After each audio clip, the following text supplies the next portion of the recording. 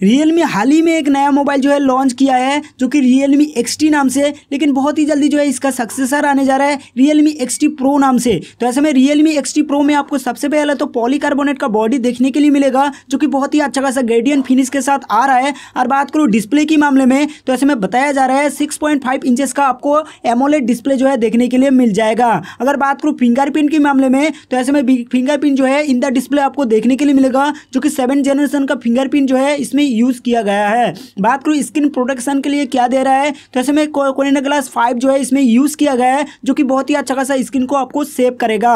बात करूँ प्रोसेसर के मामले में तो ऐसे में प्रोसेसर बताया जा रहा है सैमड्रैगन क्वालकम का आपको प्रोसेसर मिलेगा सेवन जी कि बहुत ही अच्छा खासा एक प्रोसेसर है, और नया प्रोसेसर है, इसलिए बहुत ही अच्छा खासा जो है काम करेगा। अगर गेम खेलना चाहते हो तो ऐसे में एंड्रॉइड सिस्टम तो आपको चाहिए ही, साथ ही साथ इसमें बताया जा रहा है नाइन पॉइंट ज़ीरो जो है पाई के साथ आ रहा है, ये एंड्रॉइड सिस्टम बात करूँ ग्राफिक कार्ड की तो ऐसे में सिक्स जो है, इसमें आपको ग्राफिक देखने के लिए मिल जाएगा।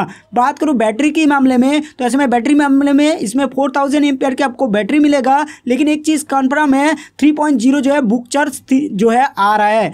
साथ ही साथ बात करूँ कलर के बारे में तो ऐसे में इसमें कलर जो है कलर ओ जो है यूज़ किया गया है, जो कि बहुत ही अच्छा खासा कलर जो है, आपको देने वाला है और बहुत ही अच्छा खासा गेम को इंजॉय कर सकते हो। बात करूँ कैमरे के मामले में तो ऐसे में कैमरा जो है फोर चार कैमरा आपको फिर से देखने को मिलेगा, जो कि बहुत ही अच्छा कैमरा है। इसमें सिक्सटी मेगापिक्सल को सबसे पहले तो मेन हाईलाइट किया गया है। साथ ही साथ eight megapixel two megapixel and two megapixel जो कि चार कैमरास आपको देखने के लिए मिल जाएगा।